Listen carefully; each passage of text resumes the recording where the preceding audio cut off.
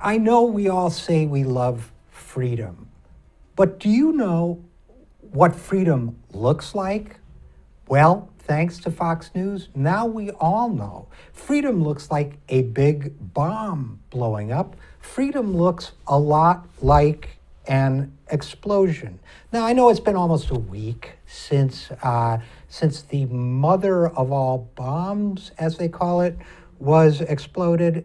And by the way, if it's the mother of all bombs, who's the father of all bombs? You know, it's so typical of our culture. We just lack an ethic of personal responsibility. The father just goes away and takes no responsibility.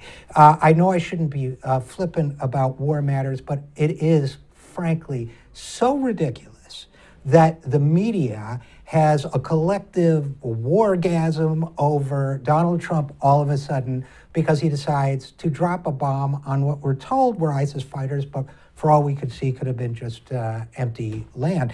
Uh, but either way, uh, of course, all the cheering on uh, of this essentially meaningless act because it's not going to change anything about the balance of power in Afghanistan, but all the cheering on of it uh, could not be topped uh, by Fox News, Geraldo Rivera, and uh, co-host Ainsley Earhardt, who, uh, uh, you know, they played the video of the mother of all bombs detonating, and Earhardt said, I'm sure you've heard it by now. Uh, Earhardt said, that is what freedom looks like.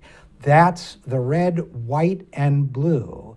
And Rivera said, also kind of famous by now, well, one of my favorite things in the 16 years that I've been here at Fox News is watching bombs drop on bad guys. Now, 16 years, uh, uh, I'm glad Geraldo's having a good time.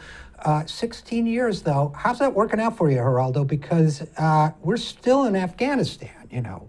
And we're still spending money and, and risking some lives in Afghanistan. We're still in Iraq. In Iraq. Now we're in Syria. You know, it drives me crazy. And I'll just end with this. These guys all say they're pro life, but apparently to them, a child's right to life begins at the moment of conception and ends at the moment they're born Syrian.